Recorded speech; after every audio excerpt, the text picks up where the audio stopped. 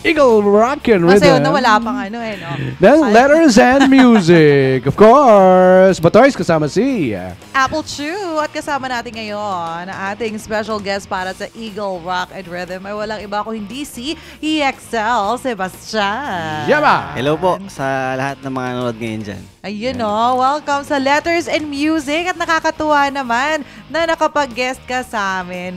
Parang pang ilang guesting mo na ba sa Letters and Oh. Music? Ito po, ah, first time ko po. First Ayan. time! Actually, First- Up sabi niya kanina, parang nakikita na kita.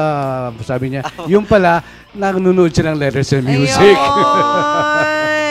Kaya naman pala. At syempre Tama. pa, andito siya. Dahil, nako, ito, ah, may ibabalita sa atin si Kuya Yexel. Ano ibabalita Ano mo sa Ano ano atin? Meron kayo po promote Ah, eh. Mismo! Meron po akong ano ngayon, meron akong bagong kanta. Ito yung ah, pinamagatang Gusto Kong Sumikat. Hmm. Ah, nasa ano po yan, nasa YouTube po yan, tsaka sa Facebook ko. So, pwede niyo po i-search doon, gusto ko po sumikat. Ito po yung parang ano, di ba, di ba tayo pag sinabihan tayo ng, alam mo ikaw papansin ka, alam mo ikaw Oh. fame whore ka. Talaga? Mm. Parang feeling mo, masasaktan ka. Oo. Ngayon. So, eto, parang gusto kong ah, ipakita sa mga tao na, Huwag niyong hayaang hatakin kayo ng ibang tao dun sa mga bagay na gusto niyo. Yun. Huwag So mo hayaan ibang tao kung gusto yung sumikat, walang masamang sumikat. Yun. Walang masamang mangarap. Importante, alam mo yung mga bagay na magpapasaya sa'yo at saka gawin mo lang ng gawin yung mga bagay na gusto mo. Yun. Talaga Yun. naman. So parang Okay. eto, ako na yung ultimate fame whore. Kumbaga inamin na. Ah. Parang Ah. ganun. Huwag na magturoan pa kung sino. Fame whore ka, papansin ka. So eto na yun. Eto Ito na yung na. oh, ultimate pasikat. I see. Oo, yun, pasikat. yun ang sabi niya, Paul, bagong kanta. Bakit? May dating kanta. Ah, di, wala po. Ito Ah, po yung okay. pinakaunang kantang ginawa ko. Yan, the first Yeah. song. At ikaw ang nagsulat ng awiting to. Apo, ako pinagsulat. Wow, naman Apo. talaga. Paano mo na isulat ang awiting yan? Ano ba? Tumutugtog ka rin ba ng instrument? Mm. Hindi po eh. Actually, dancer po talaga ako. Ay, ganun. Tapos lahat mga pangarap ko, sabi ko parang gusto kong mag-guest sa ganito, gusto kong makapag ganyan, makasayaw sila, ano, gano'n. Oo. So, niligulat sa kanta. Wow, ang galing. Nagko-choreo ka rin.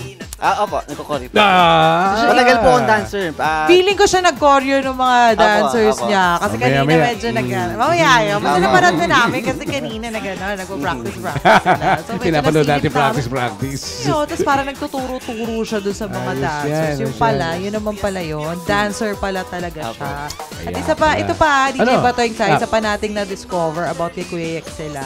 Meron siyang toy museum.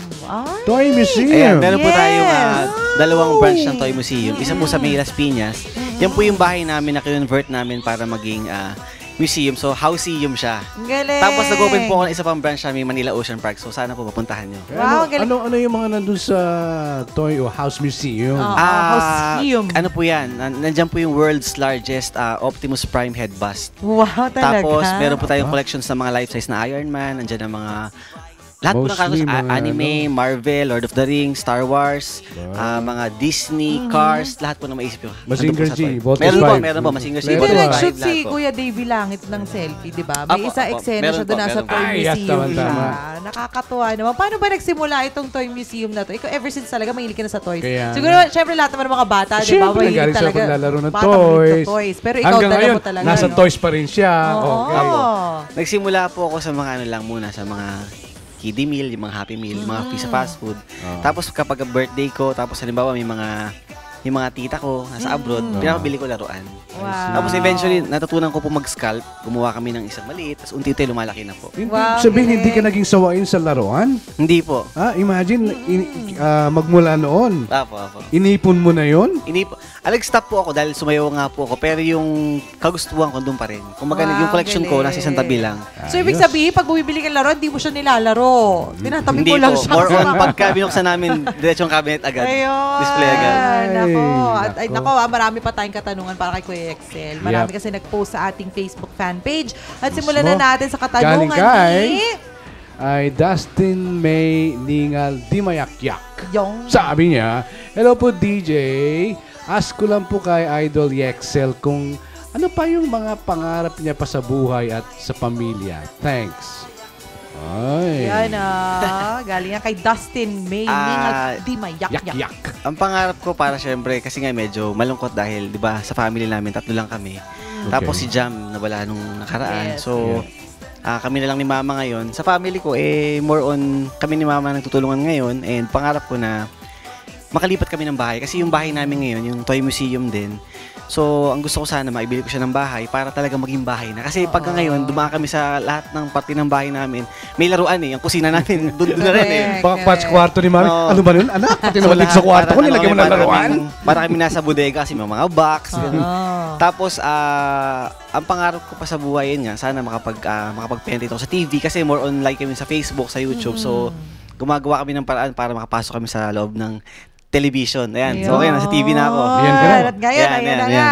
Di ba? Yan. Pasok na pasok. At Sige ito pa. pa, meron pa tayong katanungan, Kuya Yexel. Ano pa yan, Galing naman kay Marites Araga. Sabi Yes. niya, Hi Kuya Yexel, kamusta po? Magre-release po ba kayo ng album? Ayan, ah, yung album, ngayon kasi single pa lang. So, kailangan daw para makapag-release ka ng album at least apat. Oo. So, ginagawa ko na yung pangalawa. Yung pangatlo, yung pang-apat, eh, pag-isipan ko pa. Ayun. Pero, syempre, kailangan makapag-release tayo ng album para Mostly. mas astig. Di Hindi, ba? yung mostly Apo. kasi ginagawa ngayon ng mga artist eh, tetestingin mo na nila yung water Correct. sa music Apo. scene sa pamamagitan ng isang kanta, Apo. isang Kasama na single. yung music video. Di ba? Isama na Oo. yon. Kung pumatok yon, ay, dagdagan mo na. Apo, apo, yun nga Di ba? eh. Gawin mo ng album. Ngayon, ngayon po kasi actually hindi naman talaga ako kumakanta pero sabi nila lakasan ng loob 'yan. Oo. So dinaan ko sa lakas ng loob yung pagkanta ko.